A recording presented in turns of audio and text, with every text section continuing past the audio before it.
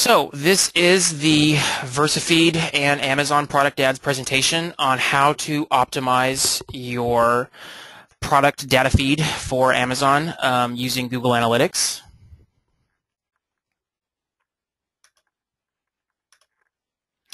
And my name's John Clavin. I am the owner of VersaFeed.com, a data feed service company. Uh, you can see my information there. Um, so if you want to, you can jot that down. Um, we're going to do a QA at the end of this, um, but you're welcome to contact me directly. Um, on the phone also, I have Christina from Amazon. Um, Christina, if you want to go ahead and say hi. Everyone, I'm Christina Wallander. I'm a marketing manager for Amazon Product Ads, and yeah, I'm happy to be here. Thanks, John, for um, for hosting. This is a great topic. Sure, no problem. Thanks for um, allowing us to do this.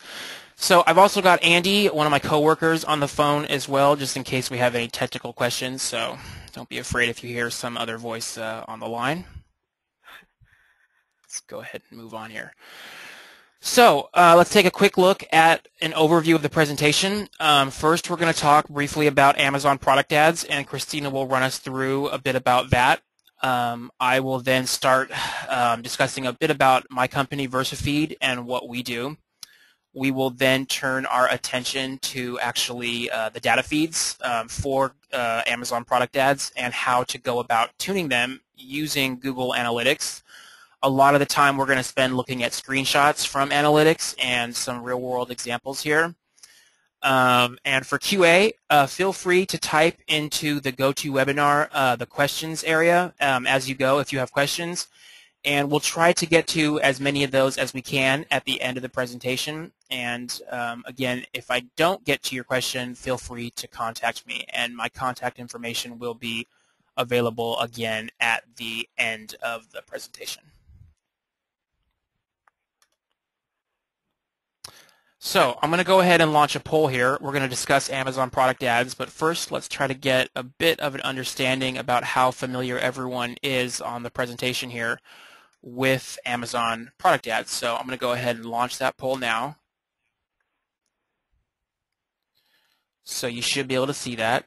So feel free to go ahead and click and vote um, what your experience level with Amazon is. Uh, if you're an expert, go ahead and indicate that. If you're a total novice, go for that. Uh, anything in between, enter that.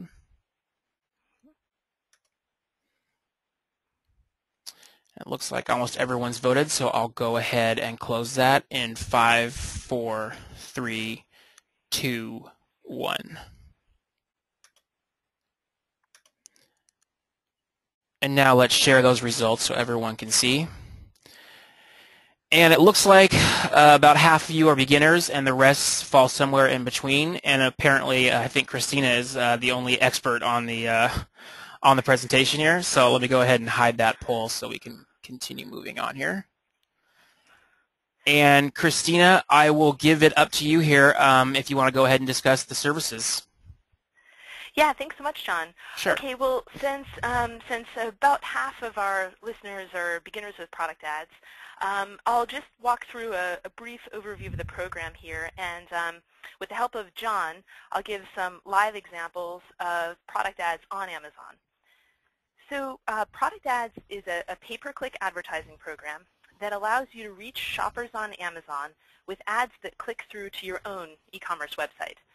So shoppers purchase directly from you on your website, and you know you own the branding, the messaging, the customer experience. Um, this is in contrast to the Sell on Amazon program, where uh, you would sell on the Amazon platform as a third-party seller uh, and fulfill the order. So now, uh, with product ads, shoppers on Amazon will see your ads in a variety of placements as they're searching and browsing and looking for products. Um, so our, our primary placement is on detail pages for products that are being sold on Amazon. So if you've ever shopped on Amazon, you may have seen a, a section on the detail page called Product Ads from External Websites. And this placement's typically below the product description and Amazon's recommendations, and we'll see an example of that in just a moment. Now, if your product is unique to the Amazon catalog, uh, meaning that neither Amazon nor a third-party seller is currently offering the product, customers may see your product ad in their search results, and they can click directly from search to your website or to an Amazon detail page specific to your product. And we'll see an example of that as well. So, um, so John, can, can we just go to Amazon and, and take a look at um, an example of both of these types of product ads? Yeah, there you go. Great. So this is, okay, so, so here this is a session on Amazon.com. Uh, John has done a search for the term leather sectional. And you'll see, um, so these are, are the search results there.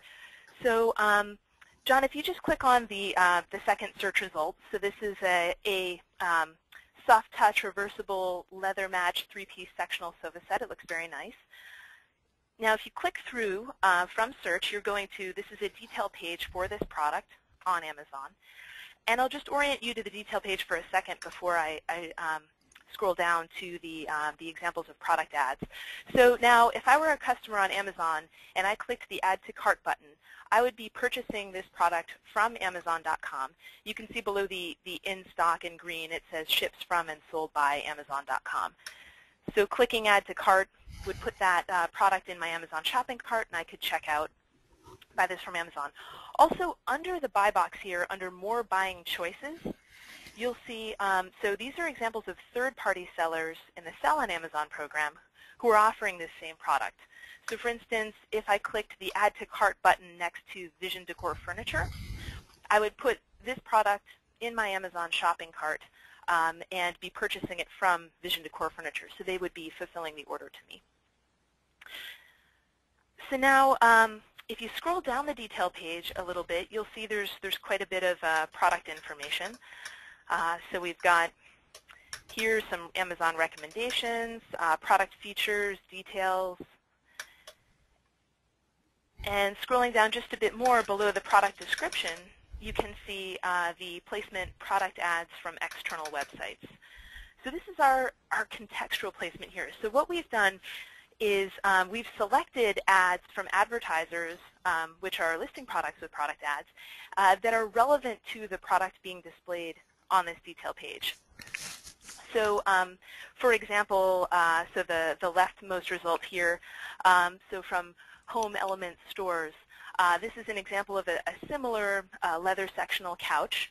And you can see um, the product ads unit will show the image of the product, the title, the price, uh, and will provide information about shipping if it's um, if it's actually uh, given to us by the advertiser, and then uh, we list the name of the advertiser that's uh, that's listed the product.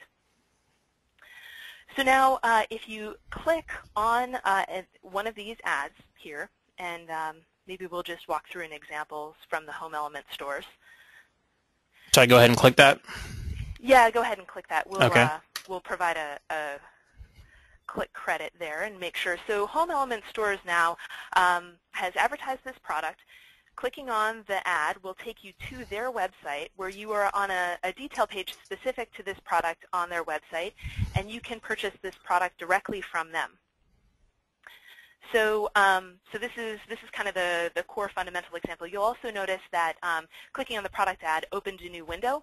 Uh, so the session of Amazon.com is still live, but the customer will go to a new window um, uh, on the website of the advertiser. So for an example of um, a unique product which gets its own detail page uh, as a product ad, um, John, could you go to um, the new Amazon session uh, where you've done a, a, search for personalized gifts. Yeah. So here, um, so search has already been done. These are the results. And um, so if you uh, scroll down a bit in the search results, there's actually uh, an example of a, a unique product ad. And just scroll down just a, a little bit more. So here you see um, this personalized silver journal with pen gift being advertised by Things Remembered. Now this, um, this is a unique product. Uh, personalized products, customizable products, anything made to order tend to be unique. Um, so, you know, when the customer is actually, you know, putting in their inputs, by definition, they're kind of creating a, a very specific product. So any kind of customizable products uh, will get their own detail page placement on Amazon, similar to this example. And these unique products are visible directly in search results, as you can see here. And if we were to click on um, the hyperlinked Things Remembered name, we would leave search results directly and go to a, a page for this product on the Things Remembered site. But instead, um, let's click on either the title or the image, and that will take us to uh, the unique detail page that we've created for this product on Amazon. Perfect. So, um, so here, this is the, the detail page, and you'll see now, typically in the upper right-hand corner of a detail page on Amazon, you'll see the Amazon buy box with the Add to Cart button uh, kind of like we saw in the uh, leather sectional example. Well, for a unique product ad, the buy box, instead of saying add to cart, um, will have a button which says visit this site. And the experience is very similar to um, the example for home element furniture. So clicking on this button would take you to a detail page for this product on the Things Remembered site. And you know, for a personalized product, this is great because then you can provide you know your personalization inputs. Thanks, John. Sure. Should I go ahead and click that, or are we good?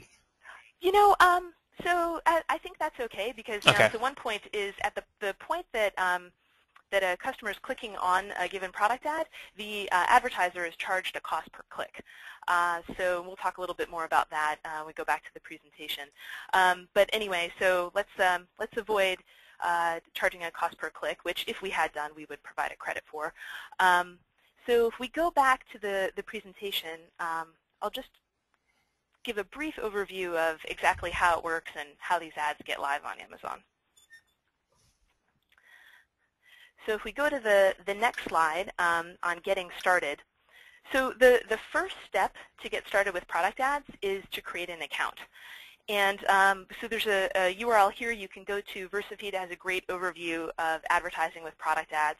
Um, so if you go to versafeed.com backslash overview backslash Amazon. Uh, you can click through to our sign up page and get started with an account.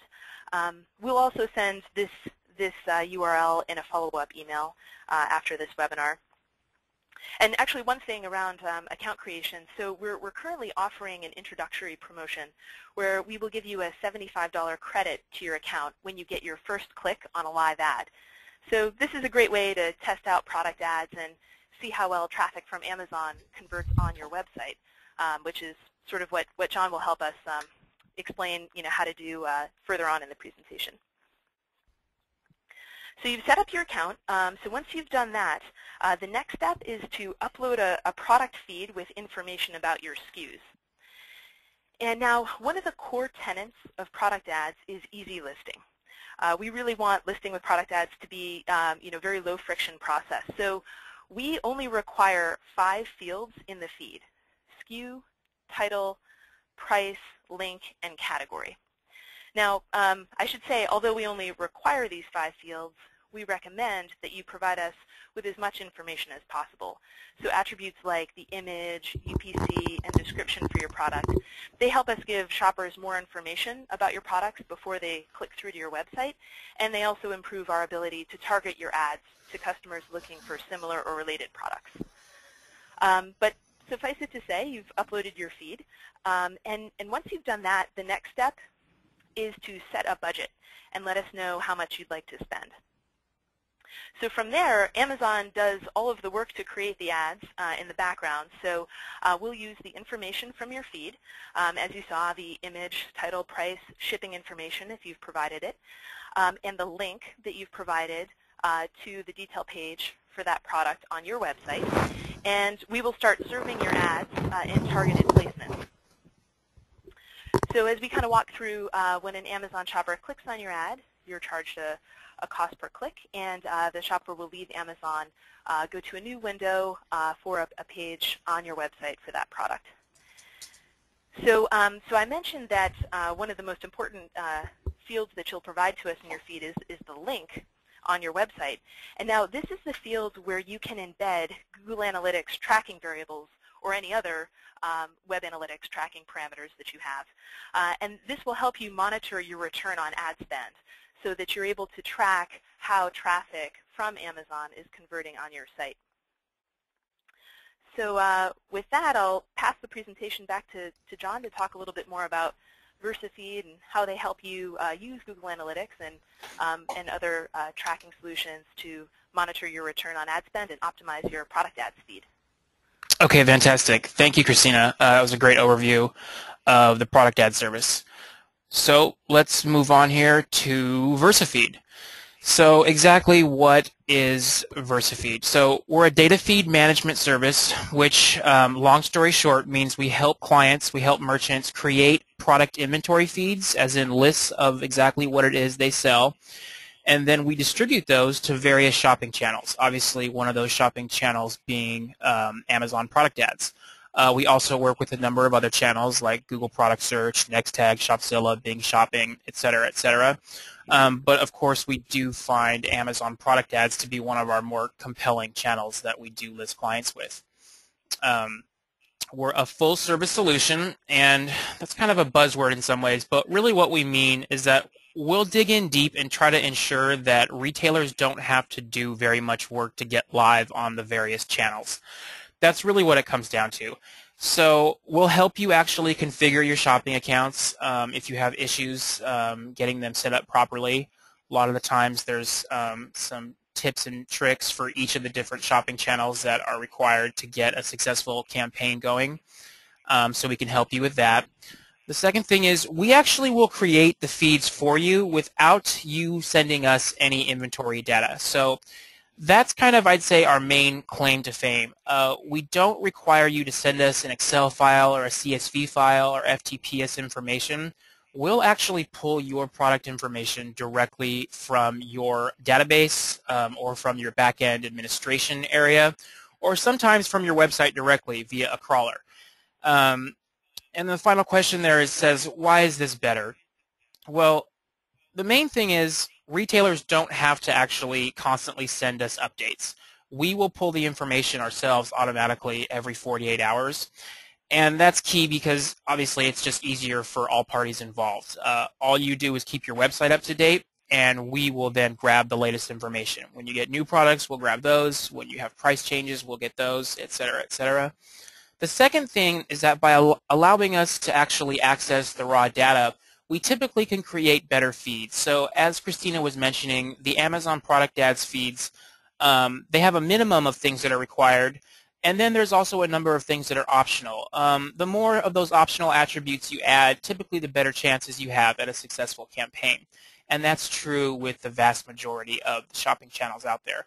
So when we have access to the raw information um, in your database or in your actual um, e-commerce platform um, dashboard, we can pull information like if you have product variations, maybe different colors, different sizes, if you have UPC codes, brands, manufacturer part numbers, any information that you have, we'll have access to for the products and we can grab and we can push that into the feed. Um, and that in turn then it gives you a much better chance at actually having a successful run on the various shopping channels. So that's an overview, our highlights. You can always visit versafeed.com, and there's tons of information there, including a blog, um, FAQs, and overviews of the various channels that we work with. So you can check that out if you'd like to get more information um, on VersaFeed.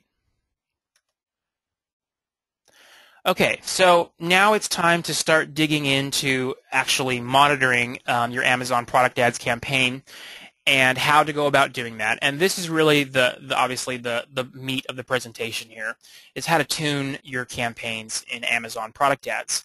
Uh, the first step is how to monitor your campaigns. Um, there's four choices here. Obviously, from the title of this presentation, we're going to be focused heavily on Google Analytics. Um, but there are three other options. Um, the roll your own, this is kind of the old school way. People would actually uh, look at their web logs. That's rarely done anymore. The two pay options are Core Metrics and Adobe Omniture. Um, I haven't worked with those very much, but they are, from all that I've heard, very great solutions, but they're somewhat expensive, so we're not going to touch on those. Instead, we're going to focus on Google Analytics today. So before we get too much into analytics, I'm going to go ahead and launch the second poll here. Um, and see how familiar everyone is with Google Analytics. So I'm going to go ahead and put that up on the screen. Uh, feel free to vote. See, we've already got a good amount of people voting. Oh, we got an expert, so that's good. Um, I'll go ahead and give it a few more seconds to let everyone chime in if they'd like to.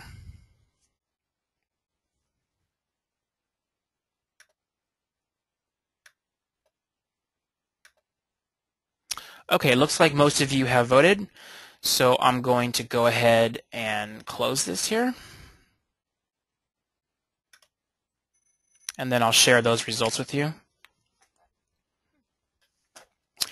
And as you can see, we've got quite the bell curve here. Um, so we've got pretty much everyone with most people being in the middle, which is great. Um, for the total novices, don't worry. I will try to um, keep this relatively simplistic. But I think for the intermediate and above, there's also going to be a lot of really good information here because we do delve in pretty deep um, in terms of looking at uh, analytics. So let me go ahead and hide the results here. And let's get back to talking about analytics. So the main reason that we find it the most popular um, solution is the number one thing here, it's free. Um, the second is that it's been already adopted by many of the e-commerce platforms um, or shopping carts that are out there. And what I mean by that is that you don't necessarily need to go in and start tweaking all of your HTML pages to install Google Analytics. Um, most of the e-commerce platforms will simply allow you um, in their administrative area to enter your tracking code and at that point they will automatically tag all of your pages and integrate you with Google Analytics. So it's fairly simple for most shopping carts to, um, to actually install. And uh, for all these reasons, it's by far and away the most common solution for the small to medium-sized business market. Um, only rarely do we come across for large companies using um, something like Adobe Omniture or Core Metrics. So analytics, the basics, how it works. We're not going to spend too much time on this because really obviously we're interested in the information we can get from analytics and not the technical details about how it can work. But long story short, when you install Google Analytics, um, the way to do it is that it needs to have special tags, um, JavaScript tags in all of your HTML pages. Um, usually this is handled by your e-commerce platform in terms of tagging all of your pages. Um, when a customer then comes to your site, it does set a cookie or a variety of cookies on their uh, browser, um, which again allows for tracking. And it enables you to see a ton of information, um, where clients uh, came from, how long they were on your site, and if they purchased on your site, obviously um, that's an important uh, metric to watch, and how much they purchased, because obviously it makes a difference if someone bought something, uh, you know, that was $3 versus $300. So these are um, some important metrics that we're going to get into looking at.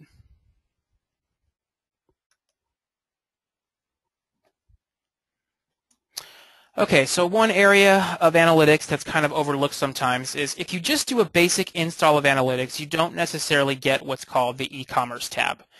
Um, and the e-commerce tab is what tracks your actual revenue. It tells you a lot more than just whether someone was on your site or where they came from. It tells you when they checked out, what they bought, and how much they bought. And that's obviously very important as we're looking at various channels to see what the return on investment is. Oftentimes this is not configured by default. Um, sometimes it is, sometimes it's not, but you'll definitely want to ensure that it has been set up properly.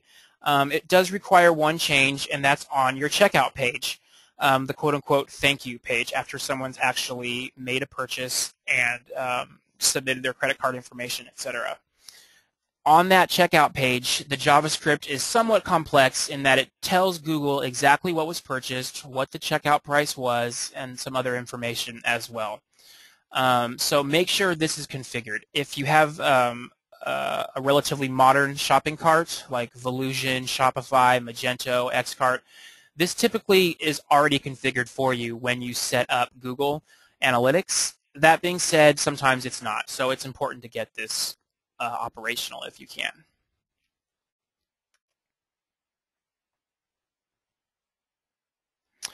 Okay, so finally we're going to talk about the nitty-gritty in terms of Amazon product ads and how we can tune. So there's a few options that we can do. The first is if we have categories, if we have product categories that are working well on, on the Amazon product ads program, we can increase the bids for those categories. The idea being, of course, that we'll then get more clicks from those products that are, that are doing well, making sales, and generate more revenue. The other side of the fence is we can remove products from the feed um, that are not getting conversions. So if you're getting clicks on uh, various products or various brands or entire product categories, but unfortunately they're not converting on your website, uh, you're going to want to, one, give them some time and see if it does work, but if you see a trend over time where you're getting lots of clicks for some particular item, but you're not actually getting any conversions, the option here is to yank it, as in remove from feed here. Um, and that will then prevent Amazon or whatever channel you're working with, because they are similar, um, from actually showing those ads anymore, thereby preventing you from paying for clicks that aren't actually generating revenue on your website. So inside of analytics, we're going to be tracking those exact things. We're going to be looking at trends, namely product brands. Um, say if you were a shoe retailer, there might be brands like Nike, Reebok, Adidas, etc., um, and product categories as well. Again, we'll go with the shoe retailer here. You might have things like sandals, you might have tennis shoes, and you might have hiking shoes, something like that. And we're going to look at those trends overall. And then, of course, we're also going to want to look at individual SKUs inside of analytics and see what's performing and what is not performing.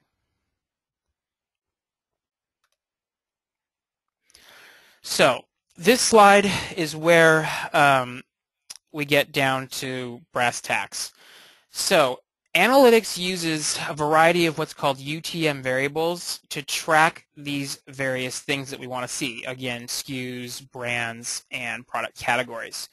And this can be a bit confusing, so we're going to spend a bit of time on this slide here. And I'll be referring to this slide as well in some of the upcoming screenshots inside of Google Analytics. Um, so again, the way that this works is that, and I'm going to go ahead and highlight this here to make it somewhat uh, easier for everyone to see exactly what I'm referring to. Um, so let's start here with the example URL, and then we're going to come back to the quote-unquote key above here. So you can see here, this that I'm highlighting here, and hopefully everyone can see this, this is the core URL. So if we were going to submit something in a data feed to um, Amazon product ads, we actually could just use what I've highlighted here, and that would be the end of it. Things would work fine. Unfortunately, if you want to track detailed information inside of analytics, you're going to need to go above and beyond this. And that's where you can see the rest of this big lengthy URL is, where we have these um, what's called URL parameters here. There's UTM source, UTM medium, UTM term, UTM campaign, and UTM content. These um, are all defined by Google Analytics, um, and they're essentially what allows retailers to push in additional information into analytics so that we can track those things we were talking about in one of the previous slides. Um, and above here now, let's talk about the key, as I call it here, this area here. So for UTM source, we always put in the actual channel name. So obviously for this, we're talking about Amazon. Um, we put uh, Medium as VersaFeed, so people know it was a data feed generated by our company. And then we get into the three things we want to track. For term, we're going to go ahead and put the SKU, the actual product SKU. For campaign, we're going to put the product category. And for brand, we're going to go ahead and put the product brand. Um, and so let's go back just to get this more concrete and look at the actual uh, rest of this URL here. And this is the lengthy part I was mentioning before. So you can see here we've got UTM source is Amazon, as I, as I mentioned. We've got Medium as VersaFeed. And now this is where we actually start seeing the details. For UTM term, we've put X200. Um, and this is kind of just an example, but as you can see here, we were selling a Coleman ice chest um, dash X200. So the SKU here is X200. The campaign, as we mentioned above, is going to be the product category. So we've set that to outdoor kitchen coolers because we're selling a Coleman ice chest here. And then lastly, we've set UTM content down at the bottom here to the brand, which is Coleman. Hopefully this isn't too over anybody's head, but again, essentially this is allowing us to track additional information inside of analytics that we can then utilize to tune the data feed. So I'll be referring back to this, and I may jump back to this slide as well um, in some of the upcoming uh, slides to reference it. But this, again, is the core way that you tell analytics how to track additional information um, so we can really tune the feeds as best we can. Okay, so as most of you probably know, Google Analytics, when everything is configured, the way that you actually get information out of it is you log into google.com slash analytics, and you'll wind up seeing a screenshot like this. Um, and what we've done here is we've put three green um, numbers here, and this represents what you would click on to see the upcoming slides that we're going to show. So we're going to be showing quite a few screenshots. And these screenshots all come from the same area. So once you logged in, you would first want to go ahead and click the one here. Hopefully everyone can see that. I'm going to go ahead and highlight it again. Um, you would click this, and that would be right here, traffic sources. And then you click two, and that would be all traffic sources. And so that would show you inside of Analytics all of the various channels that you're using, whether it be Google AdWords, Amazon product ads, or some other channel, maybe even um, email campaigns. You can track everything through Analytics. Next, we're going to go ahead and click what we mentioned before. Three is the e-commerce tab. And that's going to have us actually allow us to look at this keyword here, obviously, revenue. And then lastly, you can see there's a whole bunch of different uh, channels. We're going to go ahead and click 4 here for Amazon VersaFeed because for this presentation, obviously, we're interested in looking only at what we've got from the Amazon Product Ads channel. Um, so all of the upcoming slides, again, will assume you've already clicked these four different things in succession um, inside of Analytics. Okay, so our first actual um, detailed slide here, we're going to be looking at adjusting um, or taking a detailed look at your brands. How are your brands performing inside of Google Analytics? Um, so again, we've clicked those four links that we specified before, and as you can see, there's a green area on the screen here, and the next slide is going to jump in and zoom in on this green area so we can see um, details on our brands.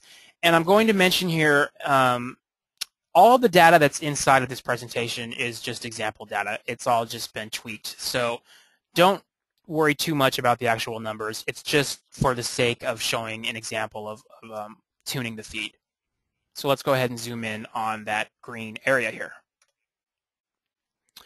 Okay, so the first thing to note is that over here in the left top corner, we've changed it to ad content here. And there's going to be five options here. Um, the five options that we could use, um, we're going to go through most of them here. These are what allow you to cycle through whether you want to look at brands, whether you want to look at individual SKUs, or whether you want to look at a product category. In this case, we're looking at ad content, which although is somewhat confusing, ad content is actually um, the UTM content parameter that we tacked on to the URL. So if you remember from that one slide that I said we'd be referencing multiple times, we put UTM content um, in that particular example to Coleman. So we're changing our sort up here in ad content area, or sorry, in this area here to ad content. And that allows this whole list here that you see on the left-hand side um, to be actual brands. And these are kind of off-the-wall brands, but indeed these are brands uh, for a furniture store. So you can see here now the next thing we've done is we've sorted on visits. And we've sorted on visits because what we're looking for here are brands that are getting clicks but might not be generating revenue. Um, again, we mentioned the tuning options here are you can increase bids for categories that are working or you can remove brands or SKUs or actual uh, categories from your feed so that you do not get clicks for products that may not be performing well. So just as an example here, uh, the first four you can see here, uh, one, two, three, and four, um, the first three of these actually are generating revenue. And you can see that right here. So we're going to disregard those. Let's just say that, okay, those are making money for us, so that's fine. Uh, the next one, number four, Home Styles here, uh, you can see that it actually has gotten um, zero revenue for 78 clicks. So it's something to consider would be potentially removing the brand home styles from your data feed. Now, 78 clicks might not be enough to actually say, okay, this is not um, a, a brand that's performing well. You might want to let it get higher, or depending on how quickly you are to jump on, on tuning your feed, you might say right now, okay, I've had 80 clicks, that's fine. Um, I'm going to go ahead and yank it. The only thing to keep in mind here is that it is industry specific. If you're selling items that, let's say, are $2,000 a pop, and for click for visit number 79, all of a sudden someone comes along and buys $2,000. Well, this just became then a successful brand. So you want to weigh your options here in terms of when to remove uh, a brand from your feed. But in this case, you can you can see the example. Some of these you might consider removing at this point.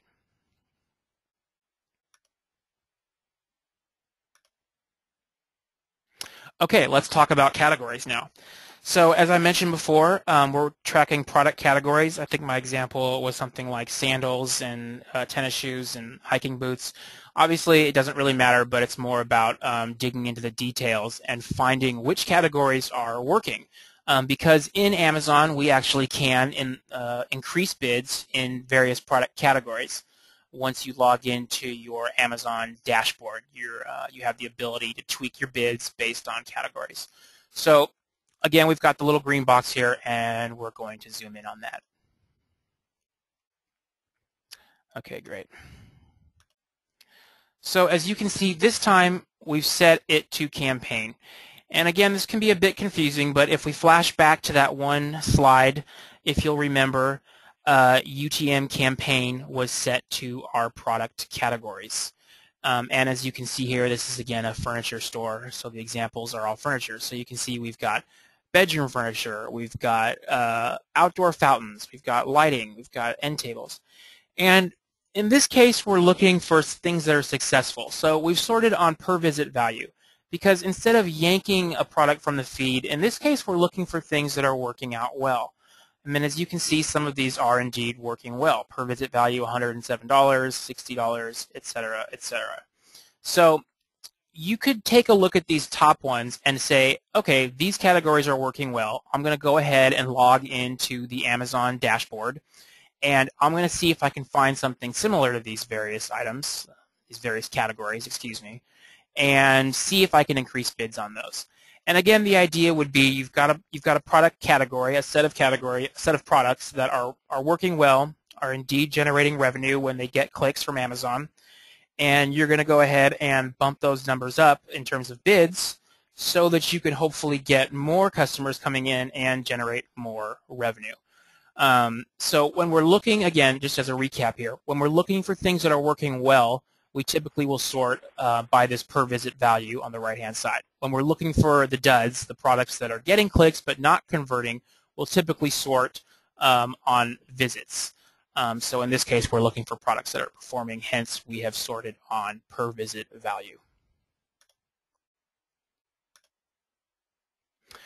Okay, and on the same token, we can look at categories that are not working well. So we're going to go ahead and zoom in again here on the green box, and we're going to sort instead of per visit value, we're going to go ahead and sort on visits.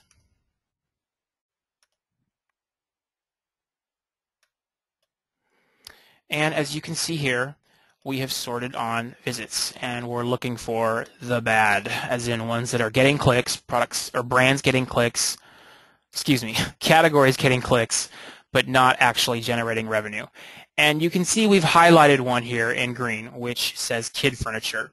You can see that most of these um, most of these categories are indeed generating revenue from the right-hand side column, except for this little bugger kid furniture um, uh, number five here, and that's generated zero.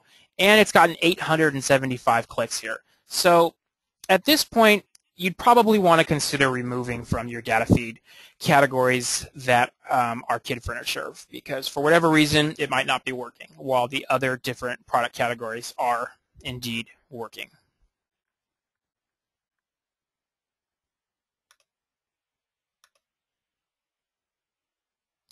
Okay, so we've looked at uh, product brands, we've looked at product categories. Now finally we're going to just look at actual products, um, as in raw SKUs. And we can't bid, we can't upbid in Amazon on a single SKU.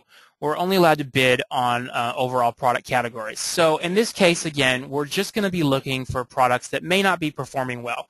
Because in terms of tuning, our only real option here is just to remove them from the feed because we do not, again, want to get clicks for products that might actually be um, losing money. So if you're getting clicks but they're not converting, um, that's no good. So let's go ahead and zoom in here on, again, the highlighted green area that you can see here.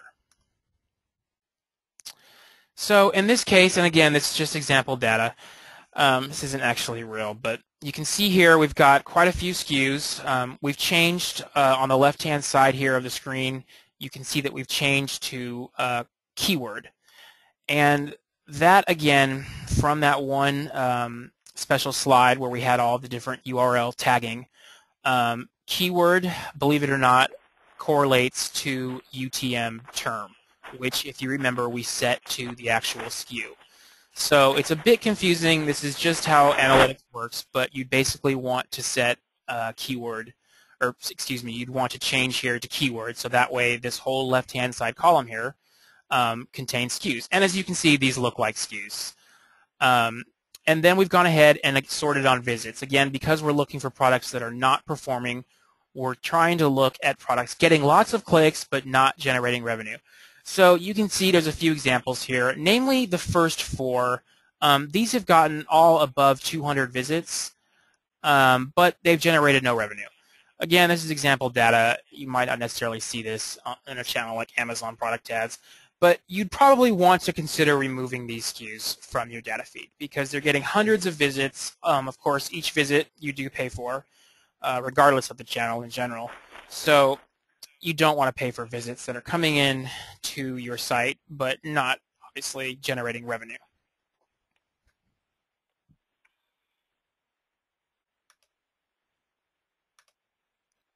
Okay, so we've covered the meat of the presentation in terms of looking at analytics and how we can potentially use that to tune our product ads data feed. Who can actually do this? Um, it really depends on your level of expertise. Obviously, there were some people on the uh, webinar who have quite a bit of experience with analytics. I'm sure they'd feel comfortable doing this. Other people who mentioned they were um, total rookies at analytics, they might have some trouble with this. So I put here you can with an exclamation point. It might better read you can with a period. Um, it's not necessarily super easy if you're um, a novice. That being said, if you try to use Google Analytics for an hour or so every week, if possible more, but whatever you can do, over time you can become proficient. It does seem a bit overwhelming at first, but it's by no means um, something that can't be uh, conquered over time. Secondly, if you have agencies, whether they're your data feed company or um, your SEO company or maybe an AdWords company, um, you can kind of, uh, let's just say for lack of a better word, um, annoy them and see if you can get help from them. Oftentimes they're very familiar with Google Analytics and if you're already paying them for help, um, they may be able to help you take a look. Or if you get stuck on something in particular, they might be able to offer some advice. And lastly, of course, there's VersaFeed, uh, my company. Um, we do analytics help only for clients. So you have to be a subscriber to our data feed service, um, and we can do basic um, analytics help in terms of if, if you're stuck on something or you need some information, we can take a look at it for you. If you do need detailed analysis, we do bill for it. Um, However, for basic questions, for help on things, um, that's not a problem, and that's included in the price of our service. Okay, as an overview here, we've looked at quite a bit of stuff actually, and we've actually gone a little bit longer than I thought we would. Um, how to track your data, how to use analytics to do that, and utilizing a feed provider like VersaFeed who can helpfully, uh, hopefully understand these concepts and help you work through any hiccups that you might have as you tune your data feeds. Okay, so we're going to get into QA now. Um, I'm only going to have this slide up for a second because I want to then move on to the next one, which actually has my contact information as well as Christina's. Hold on one second, and we will move along. If you have any questions at this point, um, everyone who's um, on the line, feel free to push them in. Um, there's uh, in your GoToWebinar uh, control panel, the little dashboard that pops up. You can expand the questions area, and you can then enter um, any questions that you might have.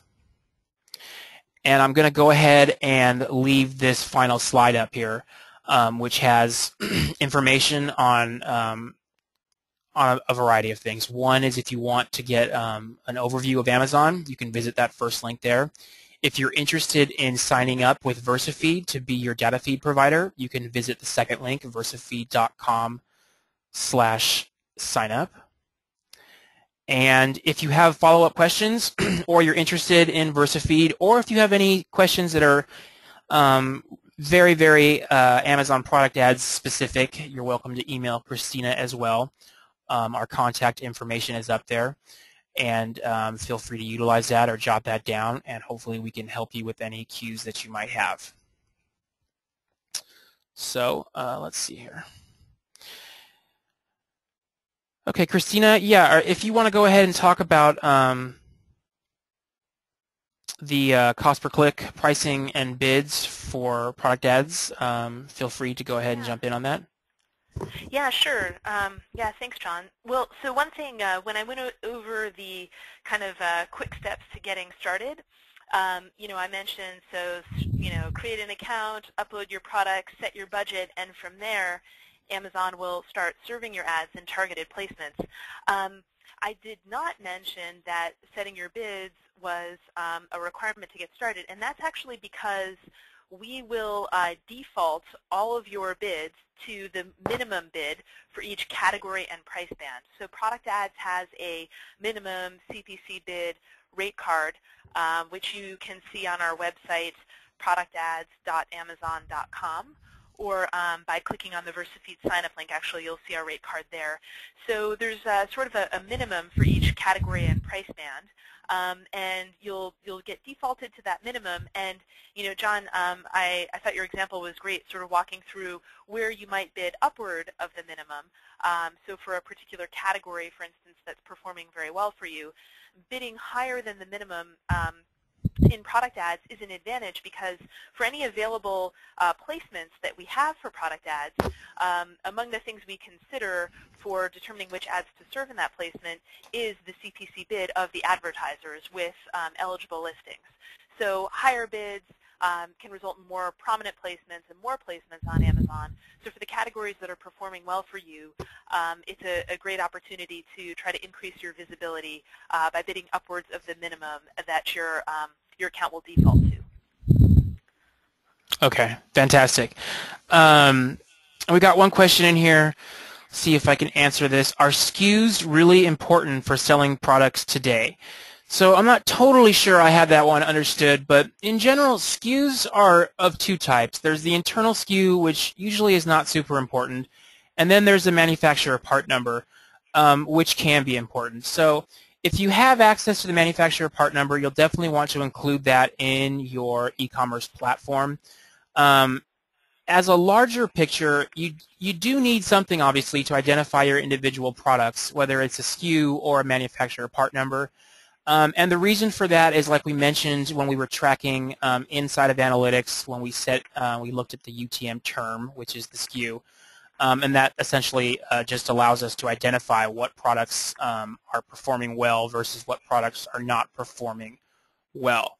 Um, in terms of SKUs as well, I will mention briefly UPC codes. Um, I'm not sure, potentially the uh, the person who asked this was curious about that.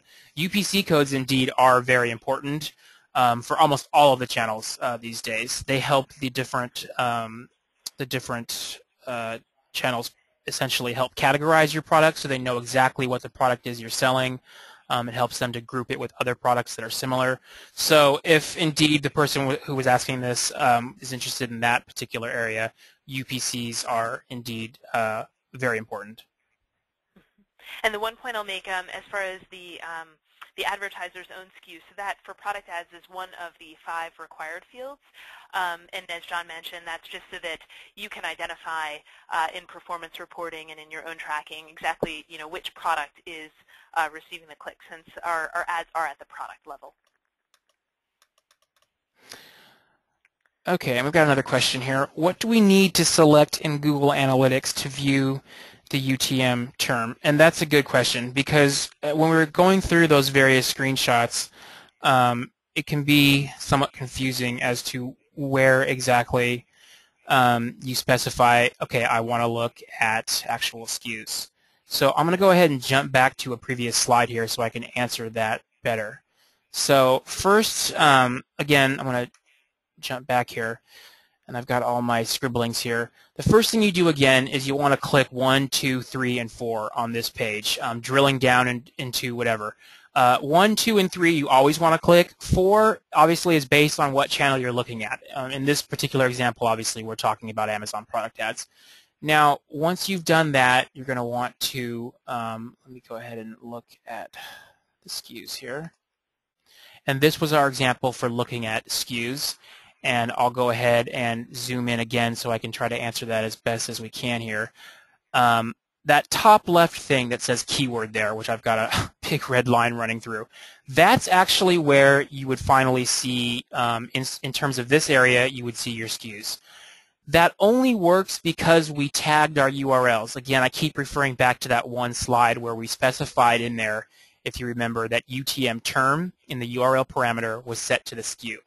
So if you set UTM term to your product SKU, and then you go in into those uh, four clicks that we mentioned previously, you'll you'll wind up in this area, and then you'll want to again in the top left side here uh, select keyword, which I know is a very odd way of mapping this. It doesn't really make sense, but believe it or not, keyword is equal to UTM term, and from that one example, that actually is the SKU. Um, so this is where you would actually get a listing of your SKUs. And then at that point, you can sort on, on all kinds of things depending on what you're looking for. In our case, we were looking for products that might not be performing as well. So we sorted on visits, and we saw that we did indeed have a few that were not generating revenue. So that's that's really how you would go about, um, again, tracking your individual SKUs and where you would find them. Okay, I got another question here. Is there different information available under traffic sources campaigns in Google Analytics? Um, there's a lot of different ways to click and get into this information inside of analytics, and that's kind of one of the confusing things about analytics. If you click traffic sources and campaigns, essentially what's going to happen is they're just going to default here. Like in this example here on this slide I have, we were looking at keyword, um, which I've got over here, the, the mouse cursor hovered by. Um, if you go into uh, to traffic sources and then click campaigns in a different area, you're going to actually look at as if you would set this to UTM, um, I believe UTM medium or UTM source, which would then show you a list like Amazon or VersaFeed.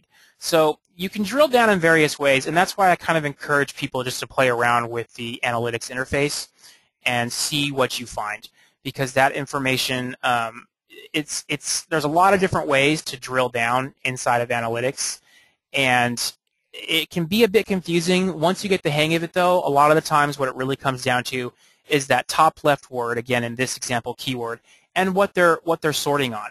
Um, so yes, you could do that, and you could get information um, in there. It wouldn't necessarily be different, but it would be laid out in a slightly different format. But at the end of the day, they're usually displaying the same information, just sorted or displayed differently.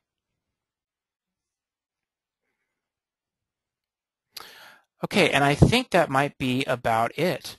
Um, let me just check to see if there's any other questions before we wrap this up. And I'd like to thank everyone again for attending today. We actually ran the full hour, which I'm impressed by, and thanks for the great questions. Um, again, I have the information up here on the screen. Uh, feel free to contact either myself or uh, Christina and we will do our best to answer any questions that you have. So thanks again, everyone, and with that, I will end the webinar.